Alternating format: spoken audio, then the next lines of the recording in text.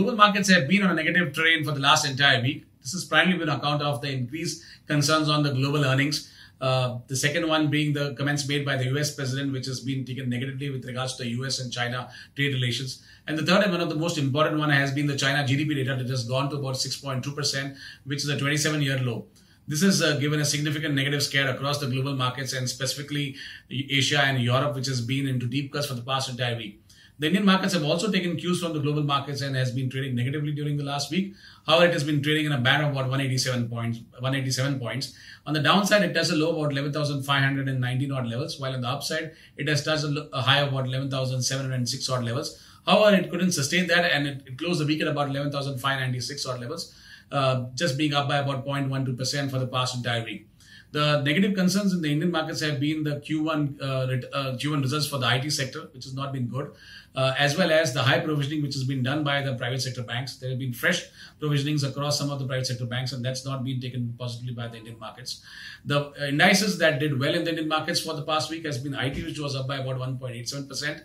Pharma was up by about 1.39%, while that didn't do well was auto, which was down by about 2.77%, and PSU banks was down by about 2.98%. In the coming week, we expect the Indian markets to uh, be uh, negative. Uh, we expect the markets to be volatile, primarily on account of the Q1 results, which is expected to be negative. Auto has uh, specifically been negative, uh, as well as the uh, the global markets, which are which are on the negative side.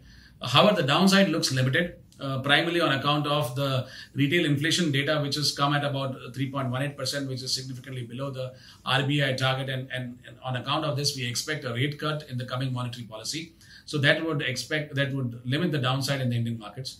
Uh, in terms of our stock recommendations for this week has been Dabur.